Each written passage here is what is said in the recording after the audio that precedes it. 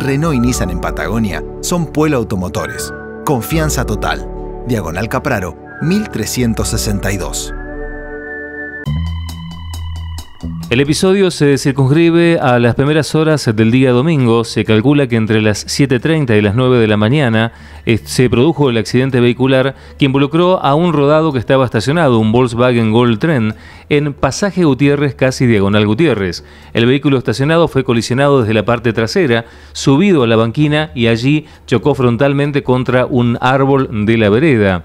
A partir de allí se produjo el misterio ante la propietaria del vehículo cuando se levantó y encontró en esas condiciones a su auto en cuestión. Con el paso de las horas se supo que la protagonista del accidente, quien se encontraba bien luego del choque, se había encargado de señalarle a los vecinos del lugar su teléfono para que pudiera ser ubicado por la persona afectada por el choque y esto se encargó de remarcarlo la comerciante de calle Lordi que dialogó con Noticiero 6 aun cuando no quiso hacer una entrevista y es la afectada propietaria del Volkswagen Gold Tren chocado mientras estaba estacionado, con lo cual es tarea solamente para las aseguradoras a partir de este incidente vehicular que tuvo lugar el domingo por la mañana.